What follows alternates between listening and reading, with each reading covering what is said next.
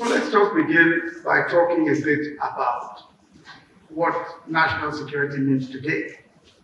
The old conception of national security was solely focused on the protection of territorial integrity and national sovereignty by military means. That was the old concept of national security. So national security simply meant uh, the absence of external or internal conflicts. So long that we were safe in terms of our physical security, that was sufficient for national security. But today, the field of national security scholarship has gone well beyond that, so that the idea of human security has taken center stage as a more holistic interpretation of the state's sovereign responsibility to guarantee the safety and well-being of its citizenry. As noted in the United Nations General Assembly Resolution, Resolution 66 uh, slash 290, and it says that human security is an approach to assist member states in identifying and addressing widespread and cross-cutting challenges to the survival, to the livelihood, and dignity of their people. So it calls for a people-oriented, comprehensive, context-specific, and preventive, prevention-oriented response that strengthens the protection and empowerment of all people. So the very concept of national security now, at the heart of it, is human security. All of the issues around human security, around security of the individual. Our constitution, the 1999 constitution, also recognizes the principle of human security in the fundamental objectives and directive principles of state policy. And it says, and I quote, the security and welfare of the people shall be the primary purpose of government.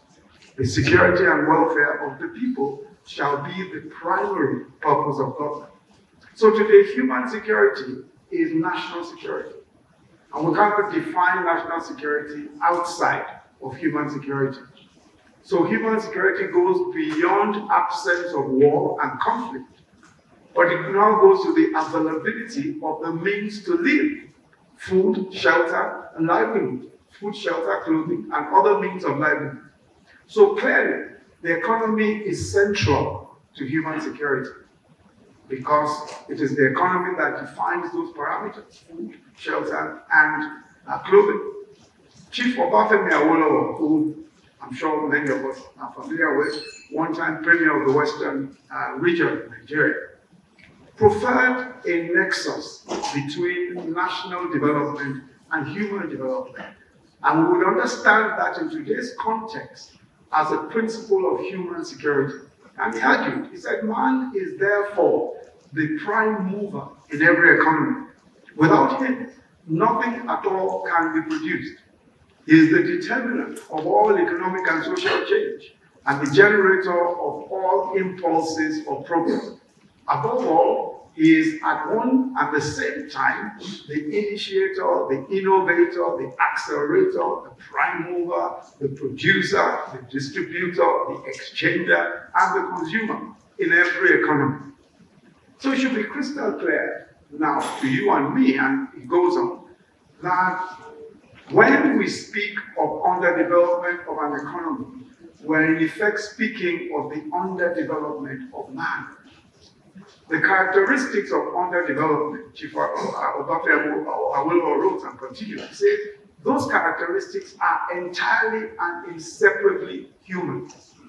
So whenever we talk about human development, whenever we talk about human security, which of course uh, is, is, is essentially the same as human development, we're actually talking about the well-being of the individual, each and every individual. So man is central to the economy.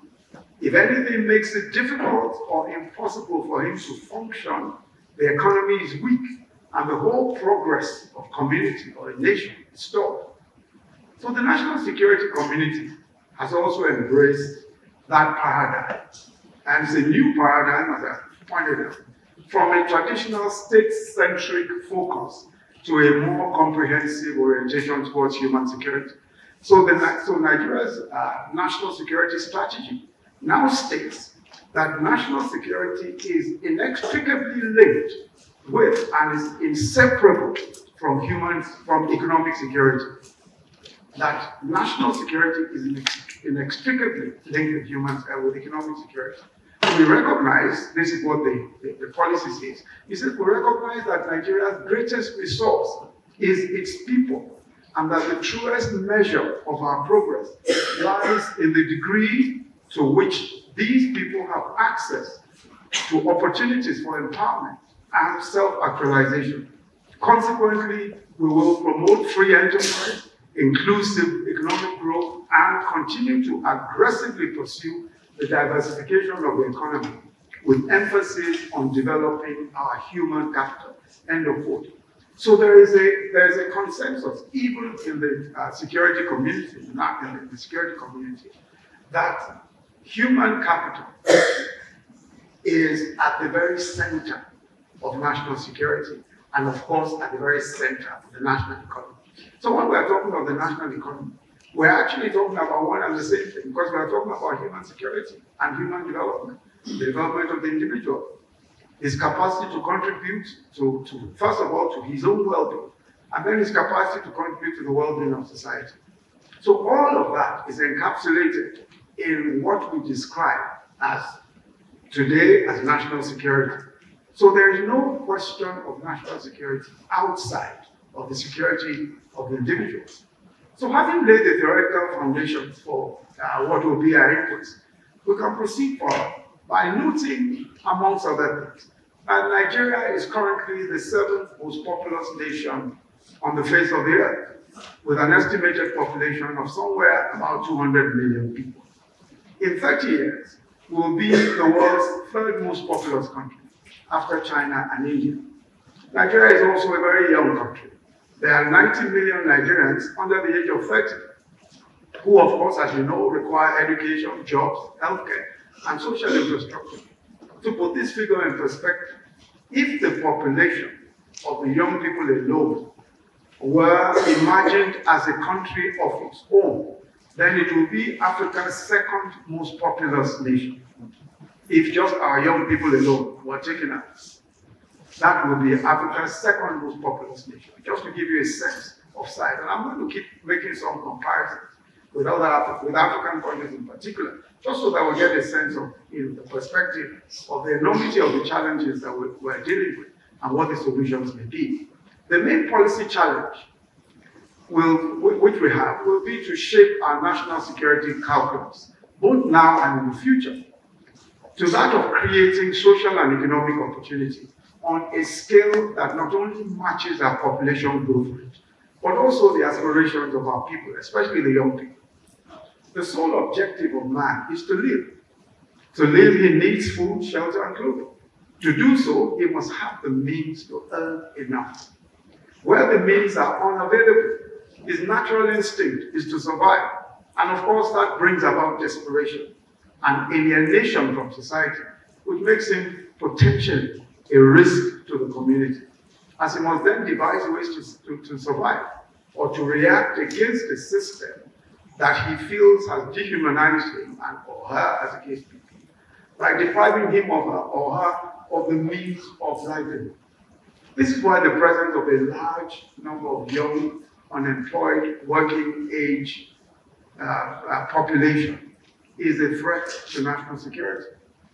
The correlation between high levels of unemployment and poverty and crime and conflict have been exhaustively documented, and I don't need to go to any sorts of references.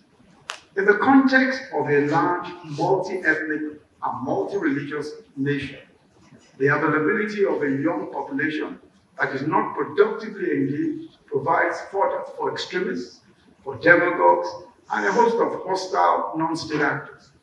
So it is clear that our current security challenges are both a cause and a consequence of socioeconomic conditions. And I say a cause, not the only cause, but a cause, a central cause. Improving human capital development, especially education, and providing more opportunities for earning a living will reduce the number of young persons available for recruitment into the ranks of Boko Haram and ISWAP and terrorists of that nature, In the Northeast, are bandits and other criminals around the country. But the insurgency, banditry, and other crimes are also harmful to economic activity and cultural productivity of in the Northeast and even in parts of the Northwest and North Central have been hampered by terrorism and banditry. And if you take a look at some of the figures, you'll see where those places, the sorts of productive levels that they were at before insurgency and after insurgency. And this has, of course, led to a situation where many are out of work because many of them are found. So unemployment itself, unemployment is both a cause and consequence of poverty. And the central question for us, I mean the central question for us, and when I say for us, I mean as a government, is how to address the challenges of creating wealth and opportunity, and how we are addressing the problems of poverty and unemployment. And, and just as I said earlier, have at least twice uh, here at the National Defense College examined the topic and uh, there I've elaborated considerably about details about the state of the economy then and the steps being taken. So I do not wish to repeat uh, those contributions. So today I will focus on some of the latest actions and policies of government directed at creating an, uh, an economy capable of providing decent livelihoods for our people. I'll also speak to some of our thoughts and plans uh, going forward. Our economic policies are based on two broad premises. I say broad premises because these are you know, uh, very, very broad indeed. First is that the private sector, and by that I mean the large, medium, and small scale companies, must be given all the support to create wealth, jobs, and opportunities. So the private sector is key because free enterprise is at the heart of our economic policy. Government must then provide the infrastructure and the enabling env environment for this to happen. So I want to just note the very first point, namely that the private sector is at the center. That's large, medium, small scale companies. They are the center of our growth. They must be supported to provide the means uh, by which many of our people will get jobs. But in doing so, government's business is to provide the infrastructure and the enabling environment for this to happen. Secondly, and this is the second premise on which economic policies are based, that before the private sector is able to provide sufficiently for the majority of people. It is the responsibility of government to provide safety nets for the extremely poor, the vulnerable, and those who cannot work. This is the premise upon which our social investment policy is based. So there are two aspects. The first aspect is to say that our economy is to be private sector enabled by government providing infrastructure. The second aspect is that there is still a large number of the poor and the vulnerable who cannot wait for the economy to provide the jobs that it needs to provide. And their state intervention must play a part. That lower segment, that section of people, the poor, are especially vulnerable to jeopardizing national security. And that's why it's important for government to make adequate provision for that class of people. But I'm just going to talk again, as I said, right, uh, about the Nigerian economy, about the, and the contributions, uh, the, the, the, policies that we're undertaking. Very recently, an article featured in the Newsweek magazine was entitled, the article is entitled Black China, Africa's first superpower is coming sooner than you think. This was, this, I think, uh, last week's edition of Newsweek magazine. Africa's first superpower is coming sooner than you think. It was essentially an article of Nigeria and the prospects of Nigeria. And were described as Africa's first superpower. And that we are coming sooner than anybody thinks. I agree entirely. Of course, there are very many aspects of that. It's not uh, necessarily uh, one that praises the Nigerian economy or that good. But at least it points to a very significant fact. The essential point that is made in that article is that despite our challenges, Nigeria is the last open market on earth. And that like China and India, its population and economic size will enable economies of scale and attract international investment just by the sheer size of the market. Just this week, uh, last week now, the Spur Group, an IT company from China, indicated that it would be establishing a computer hardware manufacturing plant in Nigeria. The simple reason, of course, is because they see the market and they see that that potential is huge. Over 147 people have mobile phones or some other device or some other computerized device. 147 million people. Much earlier than this, in the course of last year, the Mara group of uh, Ashish Thakkar had also indicated that they will set up a manufacturing plant for mobile phones in Nigeria. Microsoft has also indicated that it will build its $100 million Africa Center here in Nigeria. Now, it's not difficult to see why Nigeria remains an attractive destination for investors. Even the insufficient growth, and I want, and I want us to note that, of 2.5%, which is our current growth rate, by, by uh, and the, the growth rate predicted by the IMF for, for the economy this year, 2020, although our predictions are much better than that. But even that 2.5% growth rate that is predicted comes to about 10 billion US dollars and is bigger or just about the size of some of the economies to which Nigeria is sometimes, in my view, erroneously compared. In other words, the scale of the Nigerian economy in African terms is such that our still relatively low growth is much bigger than several other economies on the continent. The point then is that what happens here in Nigeria will fundamentally affect, first of all, our sub-region, and then indeed the rest of Africa.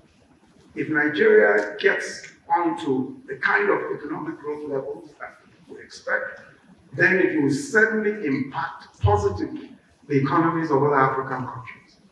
It's easy to underemphasize this point, and, and just to make the point clear, I just want to make a few comparisons, just so that we put this in context. And of course, I'm aware that there are several of you who are also from different African countries, just so as to understand the context of it.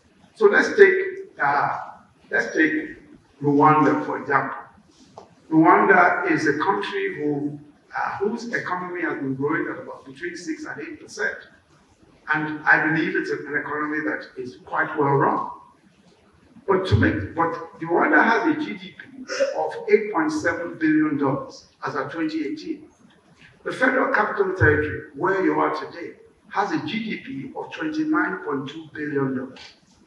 This location alone. Akwa Ibom State has a GDP of 14.2 billion.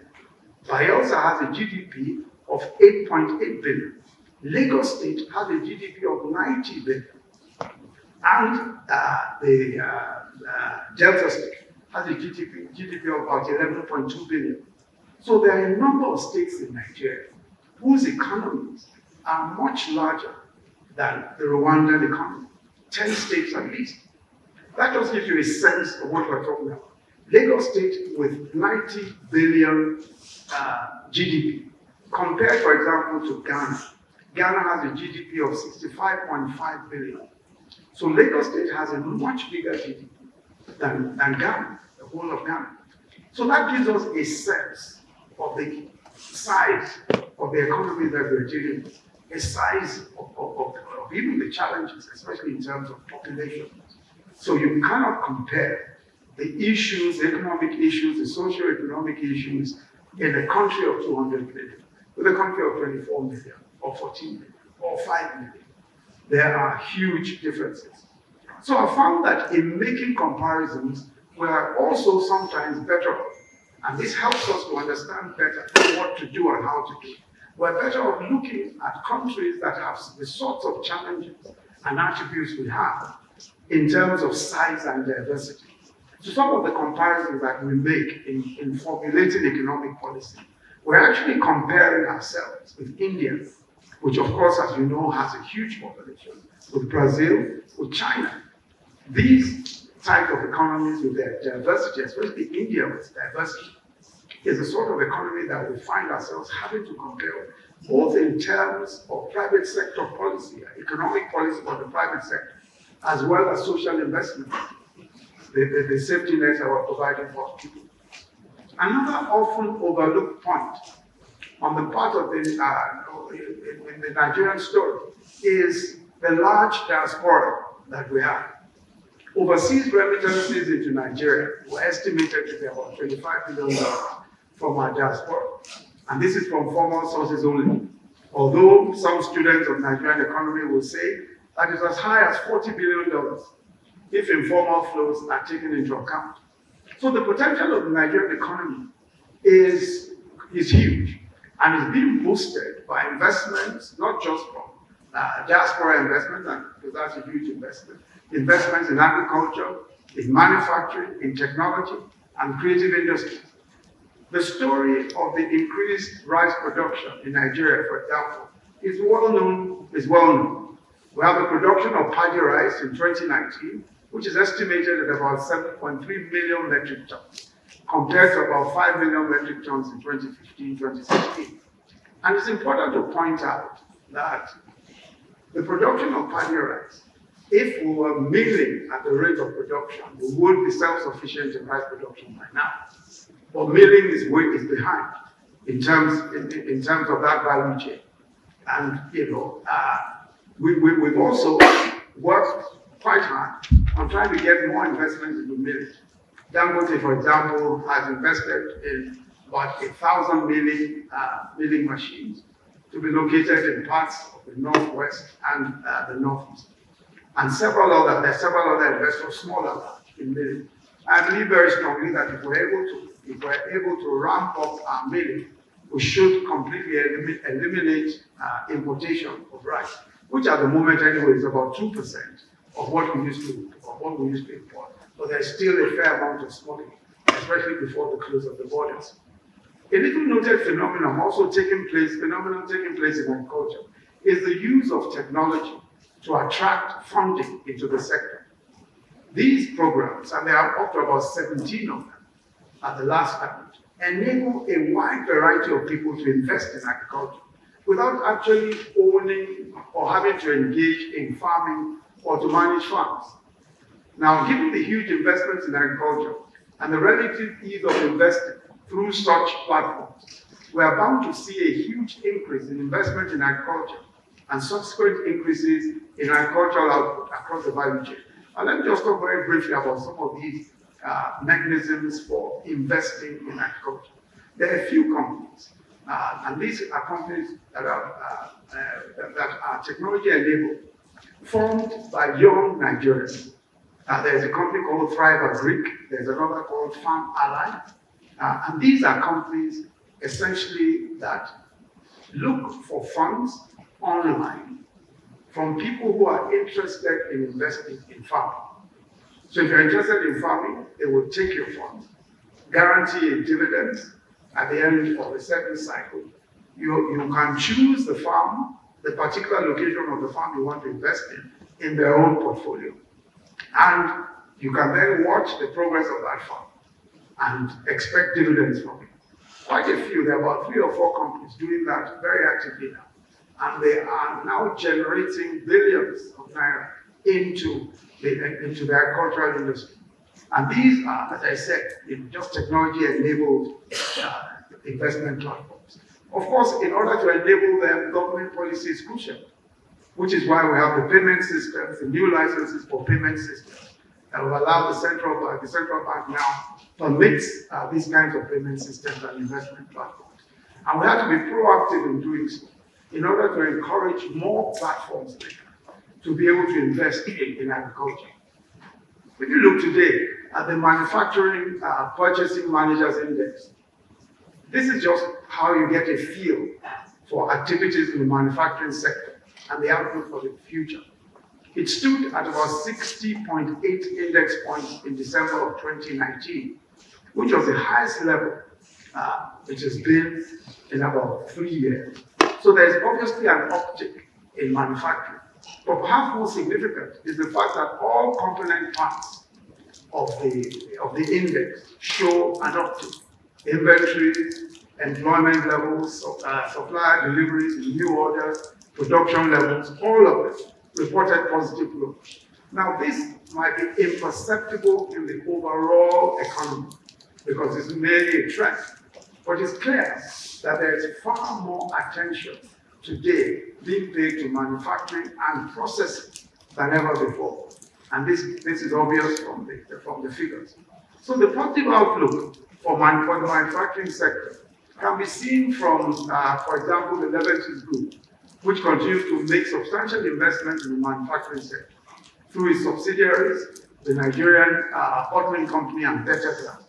Nigerian bottling company, for example, will soon commission its new plants in Asejire, which has uh, taken a substantial part of a recent $500 million investment in Nigeria. Now, Beta Glass, uh, which makes bottles for the pharmaceutical sector, and for beverages like Coca-Cola and Starbucks, has also invested another 30 million to expand its $30 million, that is, to expand its furnace capacity. The Nigerian technology sector continues to hold out great promise also.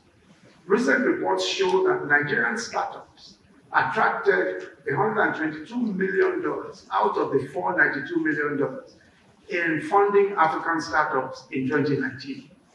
But perhaps the more compelling is the increase in the use of e-payment channels within the economy. Multi-billion naira companies founded by Nigerians, most of them under 30, are growing practically every day. And few examples, Paystack, Softcom, Pagat, Farmerline, Kia, Mall of Africa. There are just literally hundreds of them today. All of them turning over large amounts of money, taking a space that used to be unoccupied. A lot of banks, a lot of banks, of course, are used to their traditional banking systems. But what a lot of these young men and women are doing is that they're able to they're able to transfer large amounts of money quickly and without much charge to various parts of the country and to the unreached parts of the country. Many of them are building platforms. For example, when we started our, uh, our N-Power program, our N-Power program is our jobs program for young people where we've engaged so far 500,000 young men and women under the N-Power scheme. Now, to recruit these young men and women, we needed a platform where people would apply, where these young people would apply. And we got a, a, a, a Nigerian company called Softcom, young, very young people, as I said, who put together this very robust platform. And this is the sort of platform that takes, in, uh, when the platform is open, almost four to five million applications.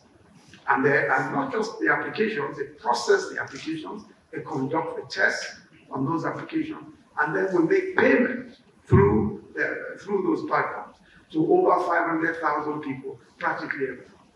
And the same is true. We also built the platform. These are all local entrepreneurs. Building the platforms for our microcredit loans to 2 million traders in Nigeria. These platforms, the payments, the collections, uh, the, the repayments, all of that are done through those platforms. And they're all, you know, technology platforms built by Nigerians. The value of point of sale transactions is reported to have reached 3.2 trillion naira in 2019, as compared to about 2.3 in, 20, in, in 2011, an increase of 38%, while the volume also increased by 153 million transactions to a total of 43, 438 transactions in 2019. Now, POS transactions are also a way of knowing what consumers are doing, what's going on, how many transactions are going on, and how many of these transactions, and these are recorded transactions on POS. So with the registration of payment service banks and the increase in the minimum level at which stamp duty is payable, as of course I'm sure you're aware, that stamp duty is, no, is payable now on sums in excess of 10,000 naira, 10,000 naira and above. It used to be 1,000, but now stamp duty is only payable from 10,000 naira and above. So we are set to see quantum leaps in the use of electronic transactions with the attendant positive effect on the economy. Our creative industry and tourism are also a source of encouragement about our economic prospects. The quality of such offerings from our film and entertainment industry. Nollywood has films like Wedding Party, Wedding Party 2, Chief Daddy, King of Boys. I'm sure all of you guys are far too busy to watch any of these uh, movies. But these are made in Nigeria movies grossing large amounts of money at the box office all over the world, attracting large audiences and reaping huge rewards. In terms of, in terms of quantity, Nollywood is the second largest film industry in the world, producing about 50 movies a week, second to India. it is true that the quality of such offerings has improved greatly. So, what do these stories tell us? All of these stories about economic activity and all that. They are indicators of the emergence of a post oil Nigeria in which sustainable prosperity will be hinged on our people's capacity for invention and ingenuity. The definition of Nigeria as a nation that is all about oil is now gradually expiring. Because as we see productivity, which is key to any economy, as we see productivity, as we see productive enterprise, as opposed to just rent seeking or just extraction, we are seeing the growth of a real economy, an economy that can blossom and give the thousands of jobs that are required, in fact, the millions of jobs that are required in our country. Now, one of the major challenges in growing our economy is maintaining an environment favorable to business and the problems of low revenues. I don't want to go into all the litany of complaints about difficulties of doing business in our environment. But I, will probably just come to that very brief, briefly. The other, the other problem is low revenues. In other words, we're generating low revenues as a government. Now, our budget this year is 10.6 trillion. Last year is about 8.9 trillion. That's naira. The aggregate revenue that we're, that is the aggregate of all our revenues, estimated will be about 8.4 trillion, with a shortfall estimated of about 2.2 trillion. So we're not making enough to fund the budget, and that means, of course, that we have to borrow. Uh, we, we have to borrow, especially to fund our capital projects. The sources of our revenues, as you know, are all proceeds and taxes. Uh, but the, and the same, the same problem with generating revenue that the national economy has, the states also have. So most states do not generate enough revenue in one year to pay their bills in one month. So for example, let's just take two, three examples. Adamawa State, uh, its IGR, is internally generated revenue, was 6.2 billion, the annual internally generated revenue, which means that it generates about 517 million naira a month. But in 2018, Adamawa's expenditure was about 14.8 billion a month. So they generate 500 million a month, and their budget is 14.8 billion. That is without federal allocation. I'm talking of what they're able to generate. Of course, with federal allocation, that comes to quite a bit. But just in terms of what the states themselves are able to generate. Benue State, for example, its IGR was 11.2 billion in 2018. That's about just over 900 billion, uh, that's just over 900 million a month, 900 million a month. But Benue State's expenditure in a month, it comes to something in the order of about 14.9 billion. So it generates about 900 million, and it spends about 14.9 billion. So you can see the huge gap. Ekiti State, its, uh, I, its IGR was about 538, naira, uh, 538 million naira a month. That's what his IGR is. But his expenditure is 8.2 billion a month. So they generate about 500 odd million, but then spend about 8.2 billion. So there's a huge deficit. It shows that both the federal government and the state governments are simply not collecting enough revenue. They're simply not collecting enough revenue. And so these uh, revenues, of course, are badly needed. So let me, let me just talk briefly then about the finance bill, which tries to address some of the concerns that I've mentioned. The first, this finance bill is a new uh, legislation. It's the first of its kind since 1999, uh, and it's government's fiscal response to some of the issues I've mentioned, the twin issues of generating enough revenue and also creating an environment for business to thrive. The act itself, that's the Finance Act, has two main purposes. The first is that it addresses the issue of domestic revenue mobilization. That's the issue of getting more tax. And Nigeria has often paraded, as I pointed out, an abysmal record.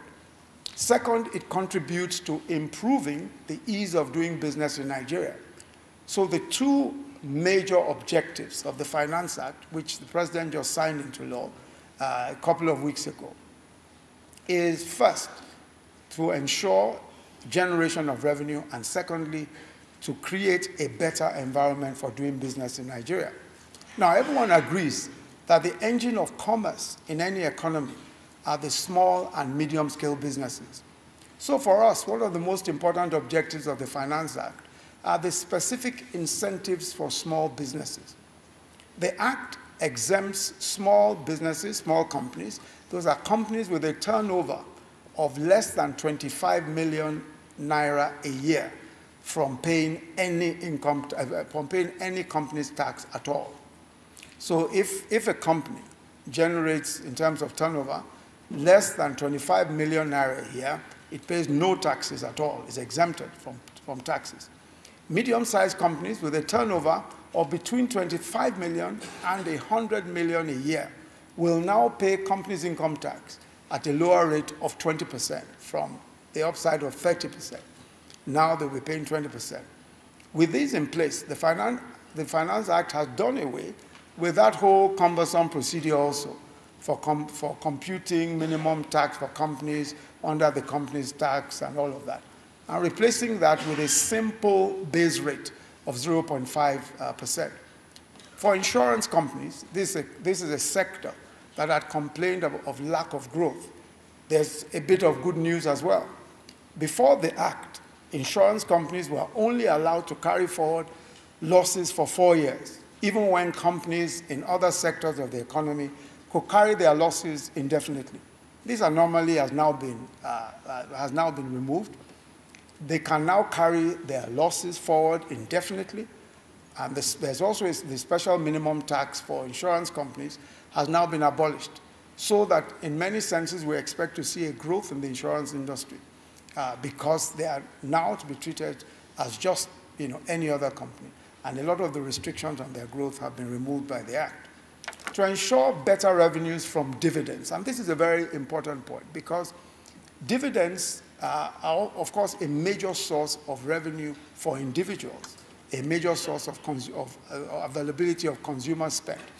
Now, what uh, has happened now is that there are provisions in the Act to mitigate the risk of double taxation of dividends. Before now, dividends that were paid out of retained earnings were liable to tax, despite the fact that such earnings would usually have been subjected to tax already. So there was a double taxation situation ahead of the Finance Act. There's now no longer that. So you can't, you can't have a situation where if you retain earnings, your retained earnings are already taxed. Your retained earnings, your profits are already taxed. Today, you cannot, uh, after taxing profit, you are no longer allowed to tax the dividends because it's already been taxed uh, once. So a similar provision has also been made in respect of franked investment income and dividends paid out of exempted profits. In other words, these sources of income will no longer be at the risk of double taxation. And it's very important to bear in mind that these tweaks in policy, these tweaks in fiscal policy, are crucial in releasing aspects of the economy that had been either undergrowing or simply not growing at all. Because as far as we're concerned, in order to create the jobs and the job opportunities that we know are, uh, are necessary, we simply must ensure that the environment for companies to thrive, small companies, medium companies, and large companies, that that environment is as friendly as possible. Another uh, business-friendly provision in the Finance Act is the granting of credits to companies for early filing of their tax returns.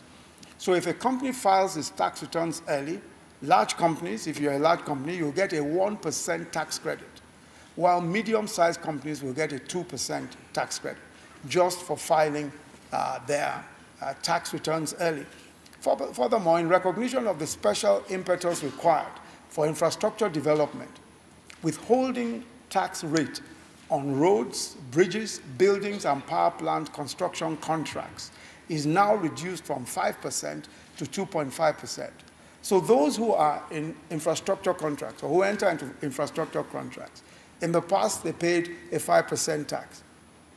Today, that has been reduced by the Act to 2.5%, so that infrastructure, building of houses, power, roads, rail, etc., is now much cheaper, you know, and of course brings more profit to those who are involved uh, uh, as contractors. Now let's talk about increasing government revenues. It's already well known, uh, and of course, it's the reason, and I, I, need to just explain this quickly. Of course, you know the reason why government revenues are important is first of all because of infrastructure investment, but also in order to satisfy the second premise of, of, of our economy, which is the provision of the social investment program. So government revenues are crucial for, uh, for two of those reasons. Now, it's a well-known fact that Nigeria's debt to GDP ratio has always been very low. Indeed, is one of the lowest in the world. This has by itself seriously hampered economic growth and limited the delivery of public amenities. And these are essential preconditions for attracting investment. The OECD's revenue statistics in their recent report, the 2019 report, puts Nigeria's tax to GDP as somewhere in the order of about 6%, which considering the levels of economic activity is so low as to constitute a negative factor and is a serious drawback for the entire system. This is more so considering that the average tax to GDP ratio across 26 other African countries is 7.2%, which is 11.5% points higher than Nigeria's. So Nigeria has a very, very poor tax to GDP ratio. Another area of revenue improvement, therefore, is in the value added tax rate. Now, this also has been notoriously low. Our VAT rate is one of the lowest. In fact, it is the lowest in Africa uh, until this recent change. Ghana, for example, has a VAT rate currently of 12.5%. They recently reduced their VAT from 15% to 12.5%. Cameroon has a VAT rate of 19.2%. Egypt has a VAT rate of about 14%. South Africa, about 15%. And Mexico, somewhere in the order, of about 16%. Our tax rate, VAT rate, stood at 5%, despite, you know, of course, the increased activity in our midst. So that has been moved up to 7.5%. So the VAT, current VAT rate is 7.5%. We expect to see an uptick in revenues. But the Finance Act has also ensured that the increase in VAT rate does not impact the poor or so become a disincentive for small businesses in particular. So there's a whole exempted class of basic food items, and that's very comprehensively defined uh, in, the, in the Act. All food necessities uh, are not taxable, and the new Act also has 16 very clearly articulated classes of food. All are exempted from tax. Similarly exempted are services like drugs, locally manufactured sanitary towels, pads, and tuition fees in all tiers of the educational system, from nursery to primary. So there is no VAT on, on fees, no VAT on drugs, and a, a wide range of medical products. Also, as a palliative measure for micro and small enterprises, the VAT compliance threshold is now set at a turnover of 25 million uh, naira. So if your company is recording a lower turnover than 25 million, you are not expected to register for that. So for small companies, they're exempted from tax, they're exempted, they're not obliged to register for VAT or render monthly, uh, monthly returns for, for VAT. So that is the position uh, with that. Also, services rendered by microfinance uh, banks are exempted from that. And the reason why that is so is because the microfinance banks were trying to push between the BOI and the microfinance banks for greater lending uh, to, uh, the, to, to, the trading uh, sectors and also to small businesses. And so we need to remove that to enable uh, that to, to, to happen. An upside of the VAT rate increase, which we must not fail to note, is that it will give the additional much needed revenue to state governments as well. And this is a very important point because, of course, we've raised minimum wage now to 30,000. Many states, of course, complain that they cannot uh, pay that easily. So with the increase in VAT rates, we expect that the state's uh, capacity to pay will be enhanced. And just to explain uh, how uh, tax, uh, the VAT is shared, 50% uh, of VAT goes to state governments, 35% goes to local governments, and 15% comes to the federal government. So states obviously have the lion's share of, of VAT proceeds. And the rate will increase. Uh, uh, uh, the, the, the, the, rate will increase, of course, uh, when you look at their own IGRs as well and all that. Now, governments need to focus, and ma many of our governments, of course, need to keep their focus on internally generated revenue. If you look at what happened, and, and, and there is absolutely no excuse, sometimes you hear about people talking about non-viable states. The reason why states are not generating as much as they should is because there is something coming from the federal government every month. If there was nothing coming from the federal government, states will pull their weight. If the federal government itself did not have all revenues, we will pull our weight.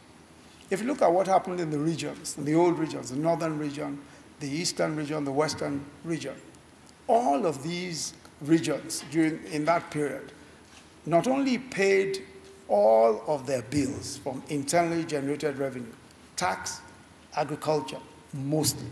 They paid all their bills. In Western region, for example, they had free education, over a million pupils at one point in time. They built roads all over the place, and they were spending only 50% of what they generated and paying 50% to the federal government. And all they were relying on was essentially tax and uh, agriculture. Just tax, that's income tax of individuals and agriculture. Today, that's no longer the case. Very few states, uh, very few uh, states, including the federal government, are as aggressive in, in, in, in, revenue generation. We're, we're not as aggressive because whether we work or not, something will come from federal allocation. And that's why there is a need to ensure that we hold ourselves to account for, for, for revenue generation. This country, a country of this size, certainly can do far more than, than, than we're generating at the moment. So, uh, in, as I said earlier, it would enable governments to pay uh, the new minimum wage so that they can pay, play their key roles uh, in, in, in, the locational centers of uh, economic activity. Let me also briefly mention uh, the provisions on taxation of the digital economy and non-resident companies. This is a very important aspect of our taxation policy. Before the Finance Act, only companies that had a physical presence or a fixed base in Nigeria could be taxed. So most digital companies, so I mean any of the big technology companies, the multinational technology companies, do not have any physical presence in Nigeria. So they make significant income from Nigeria from online activities such as advertising, movie streaming, online gaming, e-commerce from subscribers in Nigeria, but they paid no tax whatsoever because they did not have a physical base in Nigeria. So to, now we are no longer relying on the fixed base or physical address criteria. Under the new act, once you have a significant economic presence in Nigeria, you are liable to tax whether you are resident here or you are not resident as your company, so long as your economic presence is, is, is, is significant, you are liable to tax. So if, if you are streaming online or if all the adverts, Google advert, this advert, and all of that, whether you are resident here or not, you are now subject to, to tax. So non-residents who previously had no fixed base and no Nigerian tax liability will now be taxed based on uh, the as uh, significant economic presence uh, criteria. So the minister, uh, that's the Minister of Finance, has been empowered to issue a regulation defining what significant economic presence means. You know, so she just defines the scope, what, what we will be looking out for in terms of significant economic presence. I think it's also important to note what the CBN has been doing to improve credit flow to the private sector. Now, it's very important to understand also the monetary policy issues, because the monetary policy issues determine what credit goes to the private sector. And as I mentioned earlier, the private sector is the focus of the economy. They are the job creators. So how do they get credit? And a major complaint of the private sector is that inability to access credit, cheap credit in particular. That's a major complaint. Everybody complains about uh, access to credit. Now, The only way business can grow, of course, as, you know, as I pointed out, is loans to the real sector. But now, on account of the reform of the uh, OMO operations, that's the open market operations of the central, uh, central bank, we now have a situation where interest rates have become much lower. Now, also the uh, loan to deposit rate is now 65%, but interest rates have become much lower. And the interest rates, uh, especially for fixed, uh, uh for, for, for, for, fixed bills, for the treasury bills, etc., is now much lower. So you are looking at something in the order of between 3 and 6% or so for treasury bills, where it used to be 14%.